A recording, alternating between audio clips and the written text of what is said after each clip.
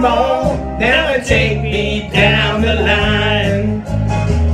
My bag is sinking low, and I do believe it's time to get back to Miss Fanny. You know she's the only one who sent me here with her regards for.